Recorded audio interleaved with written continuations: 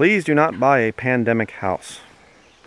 Um, what are you talking about? Well, what I'm talking about is during the pandemic, 2021 especially was the big year for it. Uh, 2020, late 2020, going through 2021, a lot of people panic bought a house. They had to move. They wanted to get away from where they were at, get out into the countryside and whatever. And there was a lot of price gouging. You heard stories of people paying tens of thousands of dollars over the asking price, which you never do in real estate. Always offer less. Um, that's another story. But people were paying because of fear of missing out. They called FOMO, F O M O, fear of missing out. And people were panicking. We have to get a house, and there's other people that are bidding and, and whatever. And there was also big financial institutions like BlackRock and things that were buying up a lot of housing to drive the prices up. Zillow was also caught um, inflating prices. They were buying houses and turning around and trying to sell them, flipping them, in other words, and charging huge prices. Again, price gouging. And they knew that there was fear. They knew that there were people that were afraid of living in an area where they could be affected by the pandemic, more, more so because of higher density of population. Well, now what's happening is a lot of these people that bought in the height of that housing market bubble, now they're starting to realize I can't make my payments anymore, especially if they have an adjustable rate mortgage. And it's very important for me to talk about this stuff, so please bear with me. And these people that panic bought now are coming out and they're saying, we have to get rid of our place very soon, very quickly. We can't make the payments anymore. The interest rates are now, uh, this last one here in July, the interest rates are now at a 22 year high. All right, They've, it's so it's very expensive to be making mortgage payments, which you shouldn't even be in in the first place. Uh, mortgages are a very bad idea.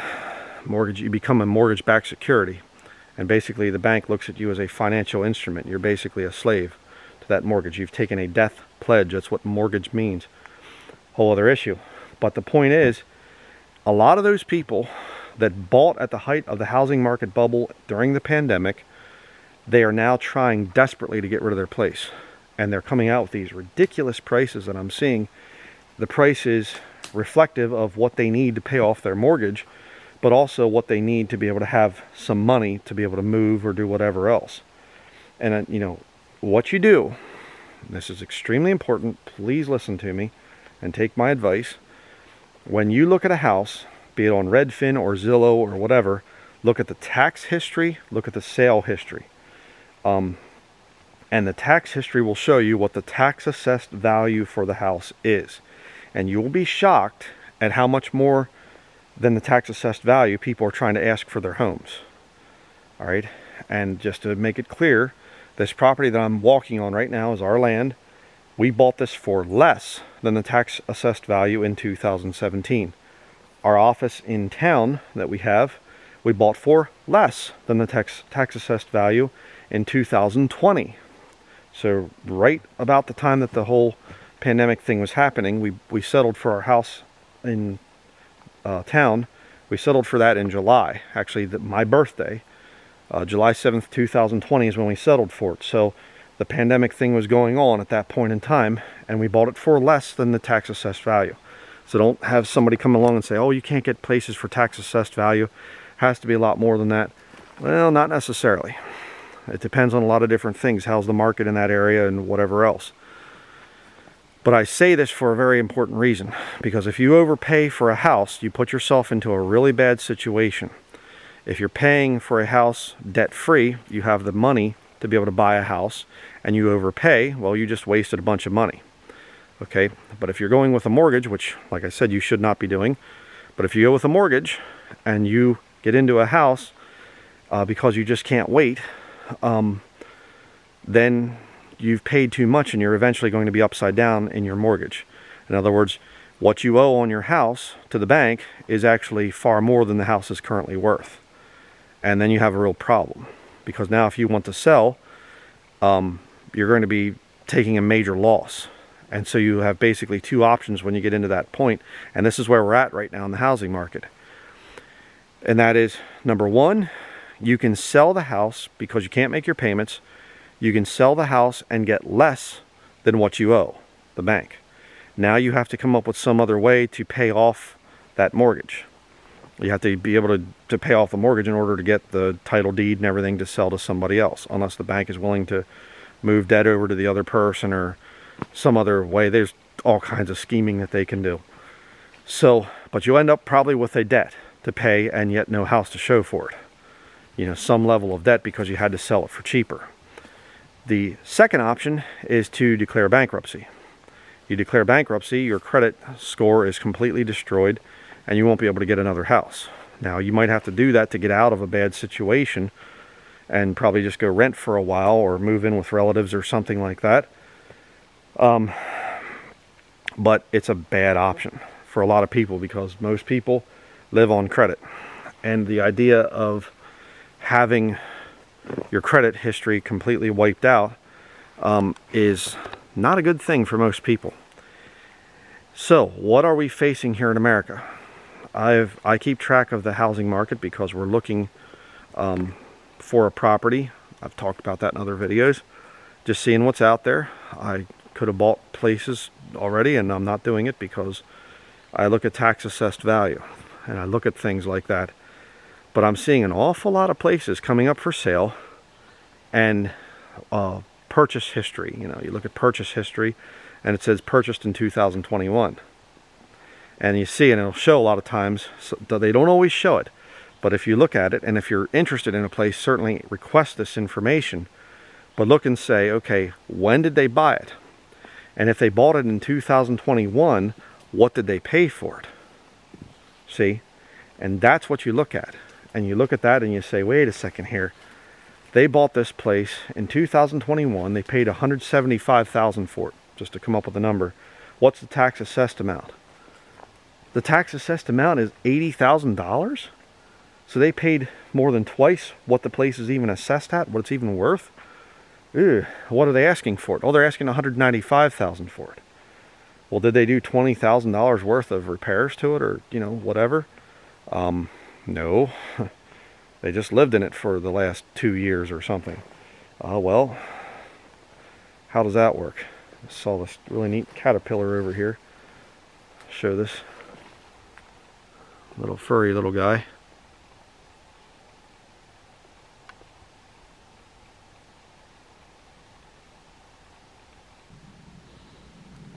Go from a Caterpillar to Luther. uh, had to change my battery there. So I'm back. Um, but anyhow, getting back to what I was saying, um, this whole issue of the housing. Um, so we basically are we're seeing this thing now of these people and they're trying to get rid of houses that they paid too much for. Do not buy a place like that unless you can offer them a very low price and they can somehow take it. You say, but I really need a house.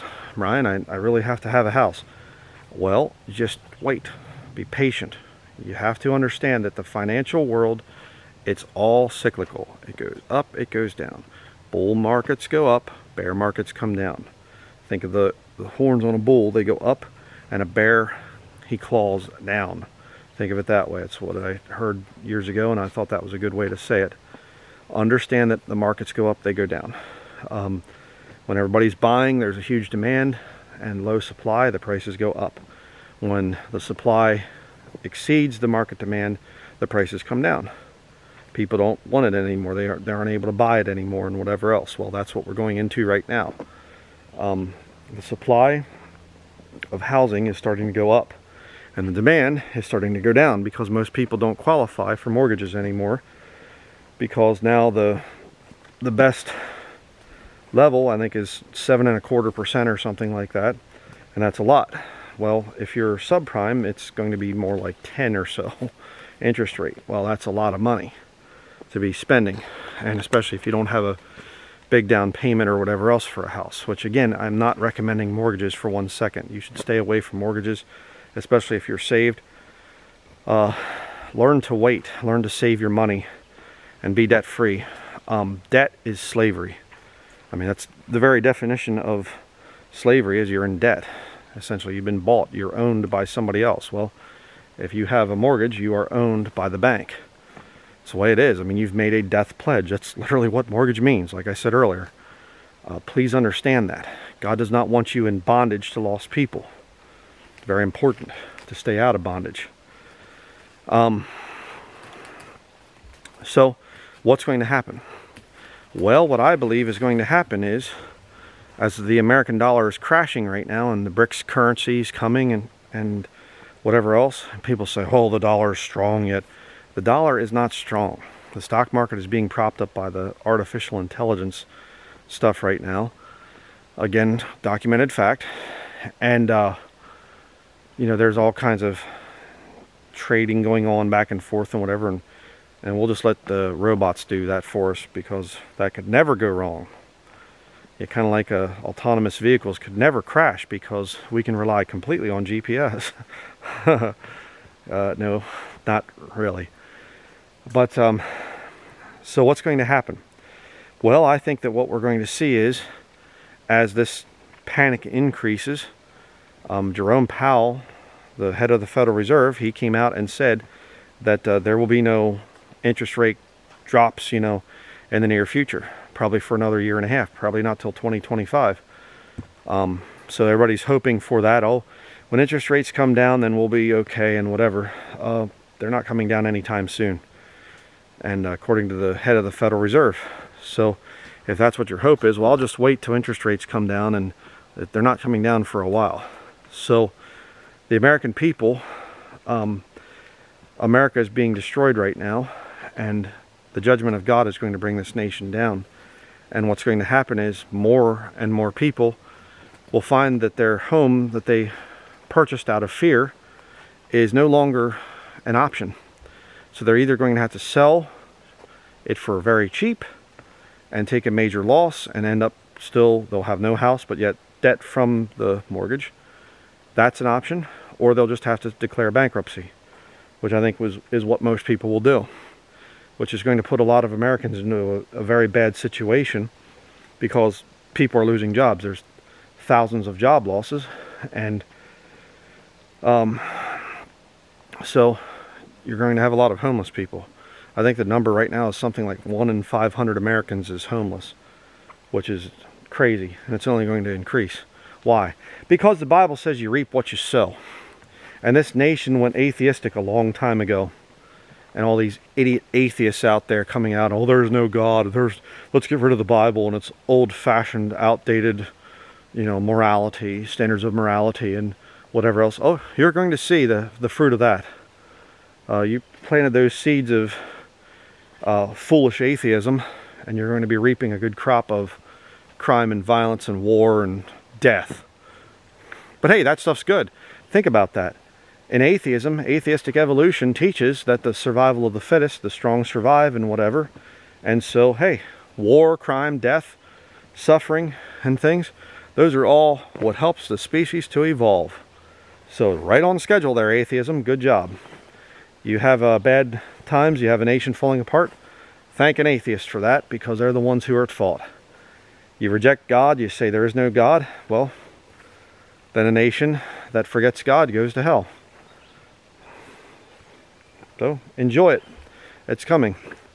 But um, what we're going to see here in America is we're going to see massive uh, amounts of people defaulting on their debt, saying I can't pay it uh, massive bankruptcies, which lead to massive foreclosures, which uh, makes serious liquidity problems for the banks. The banks don't have financial assets that they can borrow or lend out to people anymore. That's what liquidity means. It's just that they need to have lots of money, cash flow, so that they can go and get more people into debt. Real good. But uh, they're going to have massive liquidity problems, and a lot more banks are going to collapse because now they don't have their little slaves out there making their monthly payments, making their death pledge payments. And so massive financial turmoil as the dollar, you know, they, they uh, raised the debt ceiling, printed $4 trillion. They've already spent over $2 trillion of it. you know, what, two months or something? Maybe not even two months. Um, got a woodpecker up here in the tree. If I can get around here to show you. Probably can hear that. Let me see if I can get him on video. Stay there.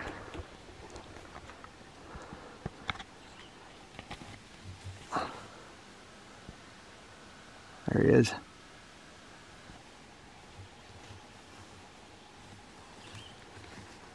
Can't tell what he is right now. There he goes. Always something to see out here. But uh,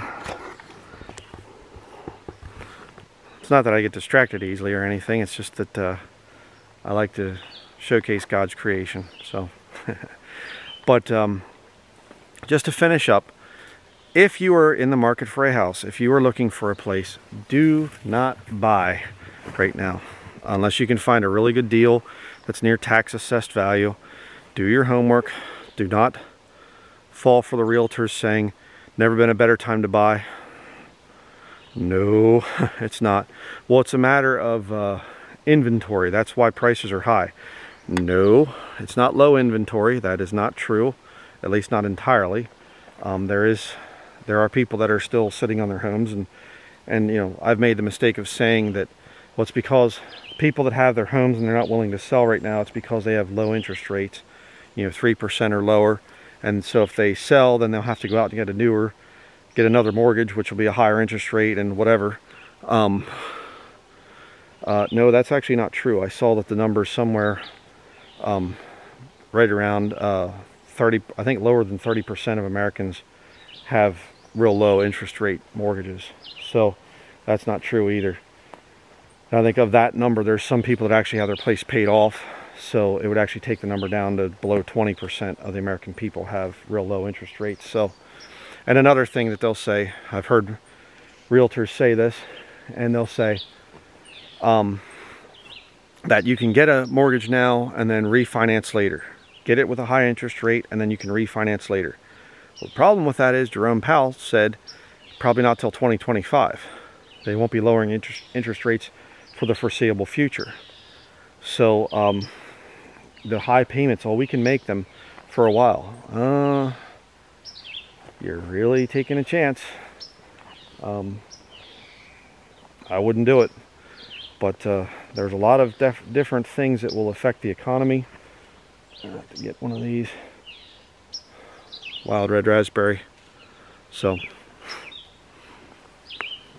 um, a lot of things will affect the economy. And you have to think about that. And uh, don't go out and get yourself in all kinds of debt just because you can't wait. Learn to be patient. And, um, you know, again, the actions of people uh, will affect the market. So if you get a bunch of people continuing to buy into an overinflated housing market, well then those same people are keeping it afloat. Whereas if people just say, no, I'm going to be smart with the money that, that God has given me. I'm not buying right now. I'll wait till the prices come down. Uh, that's what you do. Uh, in closing, I'll just tell a little story I heard that um, back before the Great Depression, there was a guy, was a farmer, and all the other farmers in his area were getting themselves into all kinds of debt because the the uh, media was saying that the economy's never been better. And uh, this farmer said, oh, I'm looking at some other signs and I'm seeing some troubling things and and uh, I'm not going to get into debt. I'm going to save my money and I'm going to deal with having not as good of a farm or not as good of a vehicle or whatever else. And um, and he, you know, held to his standards. And the stock market crashed a little while later, 1929. And um, all of his neighbors that had debt, large amounts of debt, they lost everything. And he was able to actually buy up a lot of what they had that they were bragging about. Um, the Bible does talk about prospering and that God will give you prosperity. There's nothing wrong with that, especially if you're married and you have children and things um, you should prosper. You should be doing right. And God can give you the wisdom to know when to buy, know when to sell. So please take my advice. Please take heed to what I'm saying. Do not buy right now in this inflated market. Very bad time to buy. As you can see the beautiful fireweed here behind me and some goldenrod that's starting to come out here as well. Both very good medicinal teas that you can uh, grow or well not grow but you can harvest and and uh, turn into into tea. Um, and you say why do you bring that up? You know again well because you can save money. Learn to save money. Learn to be uh, excited about the things that God has made. Um, there's a lot of things out here that you can study and, and whatever. Um, this tree right here I don't know if you can see the little berries hanging on it that's a choke, choke cherry tree. You can make juice out of the choke cherries. You can also dry them and get the, the seed of the choke cherry and you can grind it up and turn it into flour. It's Native Americans did that, um, which we have done. And uh, there's ways that you can save money, ways that you can continue to build up wealth. And then when you want to buy a house or land or whatever else, um, you can invest in that and do it debt free without having to go to the bank and sign your life away um, you know and fall for it because you have to have what you want right away. Uh, that's covetousness brethren and the bible condemns covetousness. It actually calls it idolatry. And so when you get yourself into a lot of debt and you go out there and you you know you have this big mortgage to pay off um, it becomes an idol because it's all you think about. It's everything. You know, I can't do this and I can't do that because I have a mortgage to pay off. I have this big debt, you know, that, I need to pay, this big mortgage. What can I do, you know, and everything. Can't lay up treasures in heaven uh, because I have the mortgage to pay off. And, you know, just to understand this too. I know I said I was going to close, but I'll rant on one more point, and that is basically if you want to make it very simple, uh, when you get a mortgage, you're basically paying three times the original purchase price. If you go with a 30-year mortgage, four times the original purchase price if you go with a 40-year mortgage that they have now, which is insane, the interest that you're paying on it. So if you buy a $100,000, the house is $100,000 that you bought, till you're paid off with all the interest that you're paying back to the bank, you're basically paying $300,000. And that, of course, will fluctuate depending on the interest rate. I get it. But that's a pretty terrible investment. And you say, but yeah, but, it, but in 30 years the house will be worth a lot more. Uh, you mean the dollar will be devalued a lot more? Uh, think about it. Uh, you can be debt free, you can live debt free, and you can do it on one income, which we have done for ever since my wife and I got married back in 2012. So, the 11 years of marriage, and um, she's never worked outside the home. And yet we have land and a house. And we have been able to save up money and, and you know, be able to buy a place in the future. Uh, you can do it. So uh, don't fall for the fear of missing out. Don't fall for the lies of the people trying to get you to buy a house right now. Do not buy a house right now. If you're looking at a place, check out tax assessed value and price history. If somebody bought it during the pandemic, 2020 to 2022 in that range, uh, you don't want to buy it. Don't pay off their mortgage. So that is going to be it. Please take heed to my advice and thank you for watching.